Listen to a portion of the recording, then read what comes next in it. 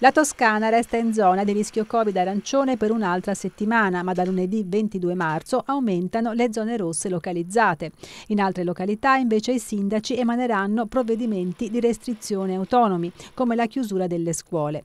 Lo ha annunciato il presidente della regione Eugenio Giani dopo un lungo confronto con i primi cittadini dei territori interessati. Si tratta di tre conferme, le tre province di Pistoia, di Prato e di Arezzo. Si tratta di eh, un territorio che si amplia là nel medio Valdarno, esattamente l'Empolese Valdelsa con il comprensorio del Cuoio, ovvero i comuni del circondario storico dell'Empolese Valdelsa, unitamente ai quattro comuni in provincia di Pisa che sono nella stessa area sociosanitaria di distretto, Savignato e Santa Croce e poi naturalmente Santa Santa mm, eh, Montopoli e Castelfranco di Sotto.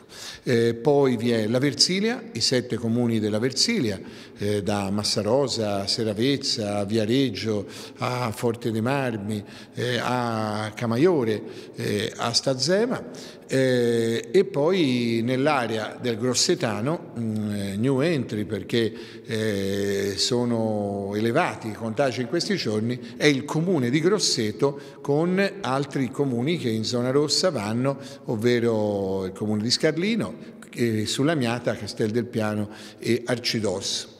Restrizioni localizzate a livello comunale riguarderanno Pontedera, Calcinaia, Santa Maria Monte, Rosignano, Castellina Marittima, Santa Luce. Il presidente Gianni ha sottolineato che comunque il trend è positivo. La Toscana ha superato il mezzo milione di cittadini vaccinati contro il Covid e dopo molte settimane ha finalmente registrato un calo dei contagiati ricoverati in ospedale.